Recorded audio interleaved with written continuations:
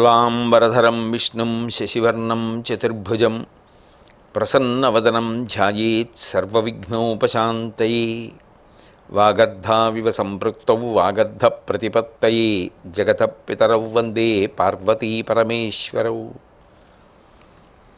Abraham Lincoln ఆయన పేరు వినని వారు ఎవ్వరూ ఉండరు.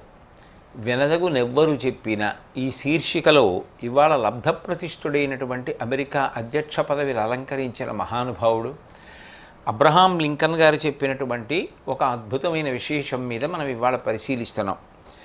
దేవుడు నీ పక్షాన ఉన్నాడా? అని ఆలోచించడం కాదు. నువ్వు దేవుని మార్గంలో ఉన్నావా? లేదా? సరిచూసుకో ఇది అబ్రహాం లింకన్ గారు చేసినటువంటి ప్రబోధం. నాకు వ్యక్తిగతంగా అనిపిస్తుంది దేశకాలాలతో సంబంధం లేకుండా ఎప్పటికీ మనిషి జ్ఞాపకం పెట్టుకుని ఒకటికి పది మార్లు సింహావలోకనం చేసి అనుష్ఠాన పర్యంతంలోకి తెచ్చుకోవలసిన చాలా చాలా మంచి విషయాలలో ఇది ఒకటి. దేవుడు నీ పక్షాన ఉన్నాడా అని ఆలోచించడం కాదు. భగవంతుడు మన పక్షాన లేడు అని కష్టం వచ్చినప్పుడు అనుకుంటాం. భగవంతుడు చల్లగా చూశాడు. అని మనకేదైనా సుఖం కలిగినప్పుడు అనుకుంటాం. కానీ నిజానికి భగవంతుడికి ఏ పక్షపాతం లేదు. ఆయన ఎవ్వరి వైపునా ఉండడు. వృషద్విచిత్రతల్పయోర్ భుజంగముక్తికస్రజో గరిష్టరత్నలుష్టయో సుహృద్విపక్షపక్షయో తృణారవింద చక్షుషో ప్రజామహీ మహేంద్రయో సమప్రవర్తయన్మన కదా సదాశివం భజే అంటాడు అందరి పట్ల అన్నిటి పట్ల ఆయన సమభావంతో ఉంటాడు.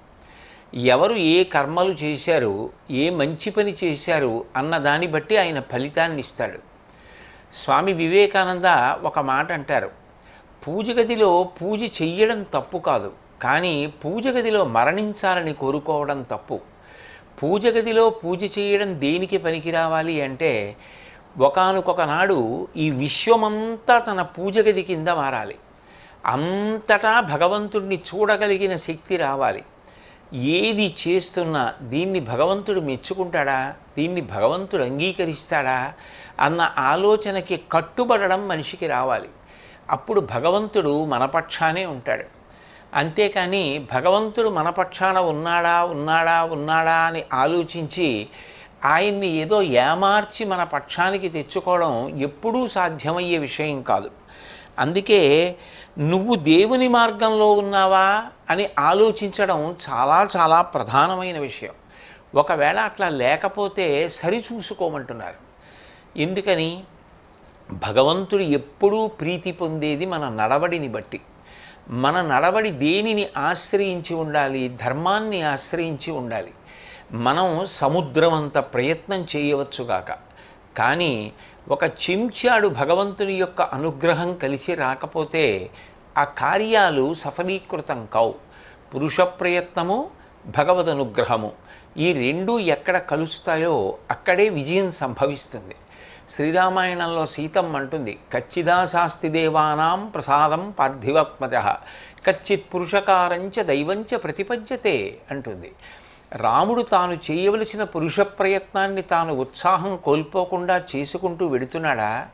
ఆ పైన భగవంతుడన్నవాడు ఒకడు ఉన్నాడు ఆయన అనుగ్రహం కూడా కలిసి వచ్చిన నాడు మాత్రమే కార్యాలు సఫలీకృతం అవుతాయని మనసులో ప్రగాఢంగా విశ్వసించి ఉన్నాడా? అని అడుగుతుంది. మనిషి ధర్మాన్ని ఆశ్రయించి బ్రతుకుతూ ఉండాలి. ఆచార ప్రభవో ధర్మ అని. అసలు ధర్మం అనేది కేవలం పుస్తకాలలో చదువుకుంటే మనకి అన్వయమయ్యేది కాదు. ధర్మం అనేది నాకు తెలుసు అంటే అన్వయమయ్యేది కాదు. నువ్వు ఎంత అనుష్ఠించావో అది ధర్మం. ఒక వ్యక్తి ఆయన తిరుగులేని ధర్మాత్ముడు అనిపించుకోవాలి అంటే ఆయన నడవడి అంతా కూడా ధర్మము చేత కట్టుబడి ఉండాలి. ఒకవేళ అక్కడక్కడ అక్కడక్కడ ఎప్పుడైనా తడబాట్లు వచ్చాయనుకోండి అవును నేను భగవంతుడు చెప్పిన మార్గానికి దూరం అయ్యాను. ఎందుకు దూరం అయ్యాను? అప్పటికి ఏదో ప్రయోజనం నెరవేరుతుంది అన్న ఉద్దేశ్యంతో ధర్మానికి దూరంగా బ్రతికాను. కానీ దాని వలన భగవంతుని యొక్క అనుగ్రహానికి నేను పాత్రులను కాలేకపోతున్నాను కదా. కాబట్టి నేను కార్యం సాధించానా లేదా అన్నది కాదు ప్రధానం. నేను కార్యాన్ని ఎలా సాధించాను అన్నది ప్రధానంగా చూసుకోవాలి. ధర్మ మార్గంలో ప్రవర్తించి కార్యం సాధించడంలో విలంబన జరిగినా ఆలస్యమైనా బెంగ పెట్టుకోకుండా ధర్మాన్ని మాత్రమే పట్టుకొని నడిచిన వాడెవరో ఆయన యొక్క చరిత్ర మాత్రమే శాశ్వతంగా నిలిచిపోతుంది. అందరూ ఆయనని ఆదర్శంగా తీసుకుని జీవితాల్ని పండించుకుంటారు. అందుకే ఆచార ప్రభవో ధర్మ. ఆచరించినదేదో అది ధర్మం. ఆచరించకుండా కేవలం చెప్పినది కేవలం చదువుకున్నది ఎప్పటికీ ధర్మం కాదు. అబ్రహాం లింకన్ గారు నిరుపేద కుటుంబంలో జన్మించారు. అంత నిరుపేద కుటుంబంలో జన్మించిన వ్యక్తి అమెరికా సంయుక్త రాష్ట్రాల అధ్యక్ష పదవి వరకు ఎదగగలిగారు. ఆయన ఆ స్థాయికి వెళ్ళడమే కాదు అమెరికా అధ్యక్ష పీఠాన్ని అలంకరించినటువంటి వారిలో చిరస్మరణీయుడైన వ్యక్తిగా నిలబడిపోయిన మహానుభావుడు. ఆయన చెప్పిన ఎన్నో మాటలు ఇప్పటికీ ప్రాతస్మరణీయాలుగా తలుచుకుంటారు అంటే ఆయనలో ఏర్పడిన పరిణితి. ఆ పరిణితికి కారణం ఆయన ఎంతసేపు పూజ చేశారు ఎంతసేపు ప్రార్థన చేశారు ఎంతసేపు ఉపాసన చేశారు దాని వలన రాలేదు. అబ్రహాం లింకన్ గారికి చిన్నతనం నుంచి ఉన్న అలవాటు ఏది అంటే జీవితంలో ధర్మాన్ని అనుష్ఠించడం. ఆయన చిన్నతనంలో ఒక చిన్న దుకాణంలో పనిచేసేవారు. ఆ దుకాణంలో పనిచేసేటప్పుడు ఒకసారి తన దగ్గరికి వచ్చిన వినియోగదారుడు ఎక్కువ డబ్బు ఇచ్చి వెళ్ళిపోయాడు.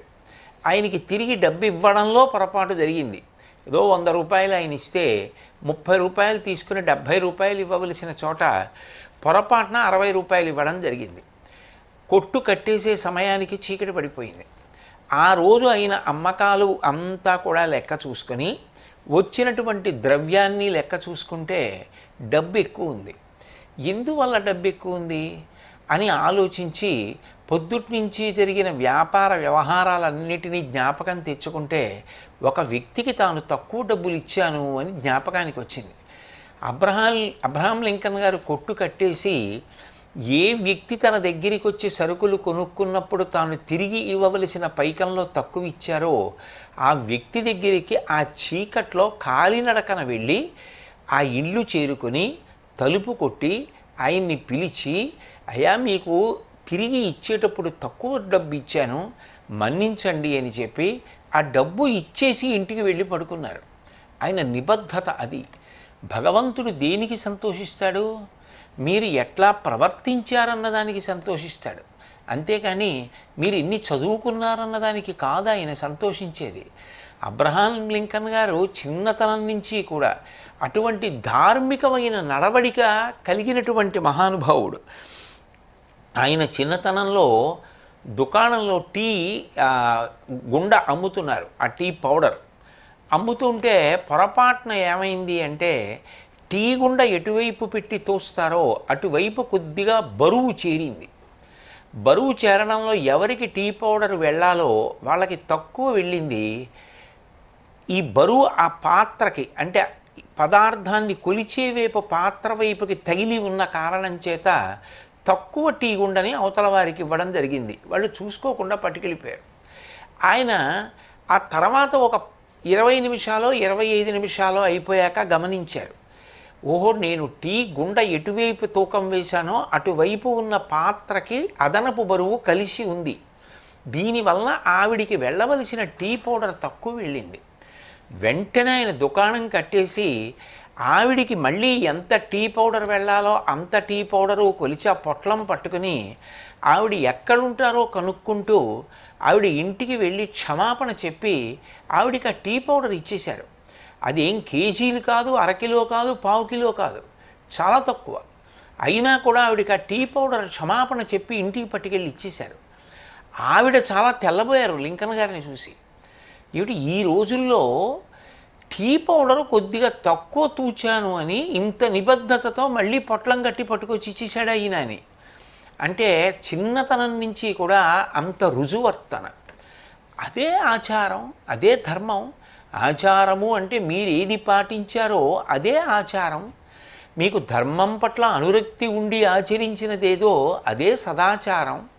మీకు ధర్మం పట్ల అనురక్తి లేకుండా ధర్మం పోయినా పర్వాలేదు నాకు కొద్దిగా ప్రయోజనం జరుగుతోంది అంతే చాలనుకున్నదేదో దురాచారం. ఎక్కడ సదాచారం ఉన్నదో అక్కడ భగవద్ అనుగ్రహం. ఎక్కడ సదాచారం లేదో అక్కడ ఈశ్వర కృప ఎందుకు కలుగుతుంది? భగవంతుడు నా పక్షాన ఉన్నాడా నా పక్షాన ఉన్నాడా అని ఆలోచించుకోవడం కాదు. భగవంతుడు చెప్పిన మార్గంలో నేనున్నానా అని సరిచూసుకో ఎంత గొప్ప మాట. ఒకవేళ నీ నడవడిలో ఏదైనా తేడా ఉంటే నువ్వు దిద్దుకోవాలి. నీకు ఆకలిస్తే నువ్వు అన్నం తినాలి. నీకు నిద్ర వస్తే నువ్వు నిద్రపోవాలి. నువ్వు బడలిపోతే నువ్వు విశ్రాంతి తీసుకోవాలి. నీ నడవడిలో దోషం ఉంటే నువ్వు దిద్దుకునే ప్రయత్నం చెయ్యాలి. కనీసం ప్రయత్నం కూడా చేయకుండా ఇది చాలా బాగుంది అని చెప్పి దురాచారానికి అలవాటు పడిపోతే సదాచారం క్రమంగా తగ్గిపోతుంది. సదాచారం పెరుగుతూ ఉండాలి. దురాచారం తగ్గిపోతూ ఉండాలి ఒకనాడు అసలు దురాచారం అన్న మాటకి జీవితంలో అవకాశమే లేని స్థితి కలగాలి. ఆనాడు భగవంతుని యొక్క పరిపూర్ణమైన అనుగ్రహం. ఆ పరిపూర్ణ అనుగ్రహమే జ్ఞానమునకు కారణం. ఆ జ్ఞానమే ఇక మళ్ళీ పుట్టవలసిన అవసరం లేని పునరావృత్తి రహిత శాశ్వత శివ సాయుధ్య స్థితికి కారణం. దానికే మోక్షము అని పేరు. ఎంత గొప్ప మాట మహానుభావుడు చెప్పారు.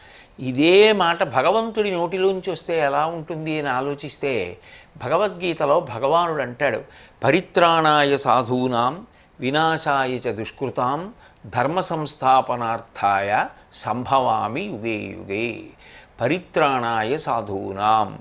నేను అసలు ఒక అవతారం తీసుకుని ఎందుకు వస్తాను? అంటే సాధు పురుషులు.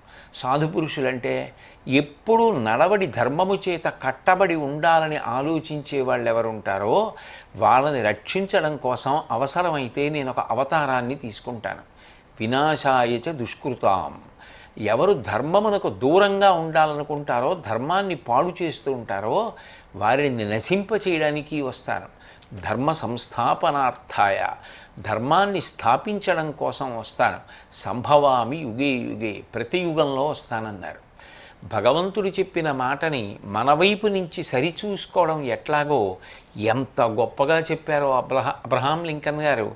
ఆయన నడవడి ఎంత గొప్పదో ఆయన జీవిత చరిత్ర ఎంత గొప్పదో ఆయన జీవిత చరిత్ర చదువుతుంటే ఆనంద భాష్పాలు వస్తాయి అంత గొప్ప వ్యక్తి. కాబట్టి ఆయన మాటలు మనం బాగా స్మృతిలో ఉంచుకొని ఆయన చెప్పినట్లుగా బ్రతకడానికి ప్రయత్నిద్దాం. దేవుడు నీ పక్షాన ఉన్నాడా అని ఆలోచించడం కాదు. నువ్వు దేవుని మార్గంలో ఉన్నావా? లేదా? సరిచూసుకో ఈ మాట జీవితంలో అనుష్ఠాన పర్యంతంలోకి వచ్చేటట్టుగా బ్రతకడానికి వీలైన విభూతులను ఈశ్వరుడు మనకు కటాక్షించుగాక అని ప్రార్థన చేద్దాం. స్వస్తి. Música